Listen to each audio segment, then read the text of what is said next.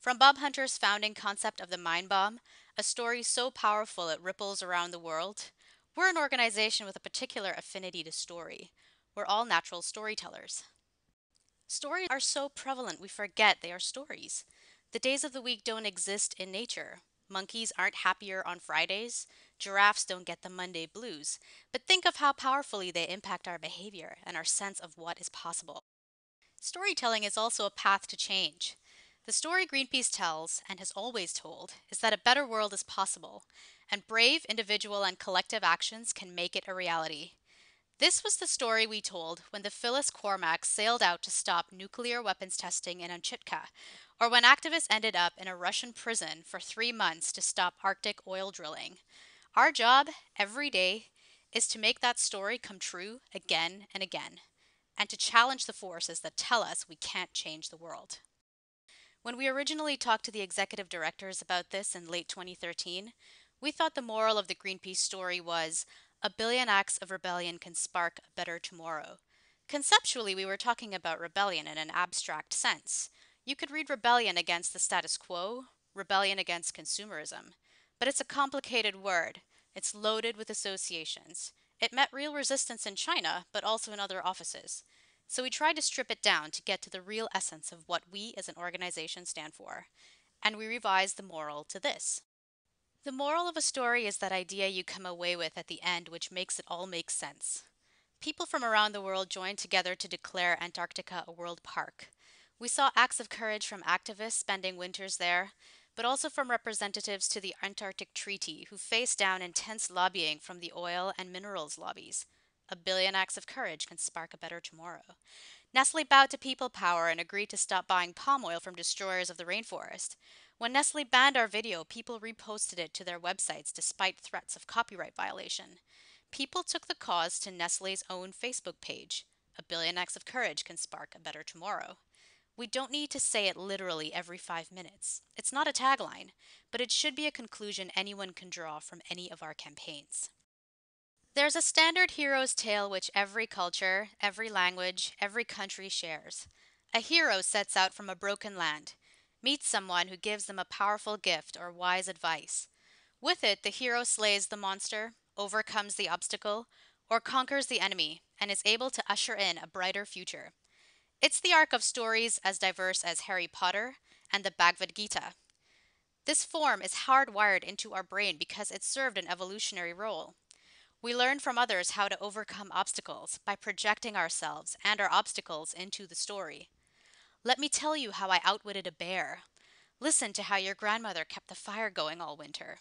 Stories like these shape our behavior and our definition of what's possible. This is the Greenpeace story arc and all of its elements. The broken world and the vision of the healed world will change from story to story, campaign to campaign. People power is always the hero of our story. The audience should be able to see themselves in the role of the hero, the change agent, whether they are powering Greenpeace or being called upon to an act of courage themselves. In our story, the gift we give allows people to find their own courage.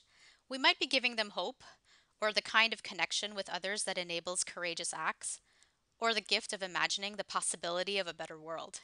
In all these cases, courage is what results. The gift is what enables the hero to go on and to win. In Jack and the Beanstalk, the gift is the magic beans. In Star Wars, Obi Wan's gift is a lightsaber, Yoda's is the secret of the Force. In Harry Potter, Dumbledore's wisdom aids Harry, Hermione, and Ron. The role we play is a hero among heroes. We enable warriors, but we're warriors ourselves. And the thing we help people find through our gift is their courage. The monsters we fight are numerous, but they all resist change in the same way, and they all tell the same stories that constrain people's sense of what's possible. The monster of our story may be Monsanto, it may be the Indian government, it may be consumerism or the 1%. But the dialogue boils down to the following We say, we can change the way we feed and fuel our world. We can live within Earth's limits. Nature can be our mentor and our model. We can redirect human ingenuity toward building a better future. We can find harmony despite our differences. We can build a fairer, more sustainable world. The monster says, Change? That's impossible. It's too expensive. It's naive. It's impractical. It's being proposed by people who aren't like us. People who are anti progress, anti jobs, anti science, anti everything. People who hate our country. People out to overthrow our traditions. The monster story is paralyzing. It tells us there's no hope. Why bother? It relies on our feelings of disconnection from ourselves, from our community, from nature, and from time, leading to short term thinking. The monster story requires that people not think for themselves, not imagine alternatives, not believe that a better world is possible. We can challenge the monster story with three simple potions hope, the renewed connections to nature, to each other, and to the future, which allow us to be more courageous, and the creativity to imagine a better world and turn it into a reality. Courage is the value that more people aspire to than any other. All acts of courage will be context dependent and deeply personal. Signing a petition is not a brave act in Switzerland, but it is in China. My sense of what's brave may be very different from yours. Courage is stronger connected. Some acts of courage may feel like a drop in the ocean. Yet, what is an ocean but a collection of drops? By acting together, we can multiply our impact and add up to something greater than the sum of our parts. Connection also enables courage. We will do things together or as a team that we would not do alone. Connection enables courage, makes it stronger, and concentrates its impact.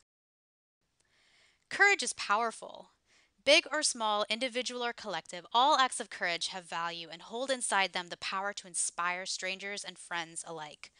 Who's to know which act of courage will set off the ripples that transform into waves that gather into a mighty tsunami of change? We will recognize and appreciate the inherent value in all acts, even if we cannot understand them right now. And courage is contagious. We're already good at modeling courage. We need to become much better at inviting our supporters to go outside their comfort zones and amplifying the courageous acts of others. It was the everyday acts of courage, like his teacher allowing him and other activists to meet in her house while she watched for police, or the civil disobedience of those in Europe and North America who were arrested in front of embassies or joined the boycotts on South African goods that eventually brought apartheid down. It was only when people in large numbers came to believe change was possible did change become possible. Nobody will fight for a world they don't believe is possible. Half the struggle is getting enough people to believe, and we do that with the power of story. Telling a better story is how we win. Martin Luther King didn't tell people he had a nightmare, he told them he had a dream. We've always been very articulate about what we're against, and we have defined ourselves by what we oppose. If we're to take people with us on a journey into a brighter future, we need to be clearer about what we stand for and to help people imagine their role in making that world a reality. This is what makes our work different from marketing. Marketing tells people they are inadequate and sells them a cure. We tell people they are amazing and gave them gifts to apply that power to building a better world. When we ask people in workshops around the world what would be different about Greenpeace if we were truly living this story, we came up with these seven shifts. These are the North Stars by which we can steer. If we build our program to consciously drive these transitions and use them to help us plan, implement, and evaluate new projects, we will become the organization that we have the potential to become one which delivers transformational change. The key to the story is that it contains a spine upon which stories from different national and regional contexts and different cultures can be told. The story can be told in any format to any audience as a campaign video, as a children's book, as an About Us page on a website, or as a manifesto. The broken world, the vision, and even the identity of the monster telling the stories holding us back can change from place to place and campaign to campaign. What remains constant are the values we espouse, the role we play, and the moral our stories reinforce. A billion acts of courage will spark a brighter tomorrow.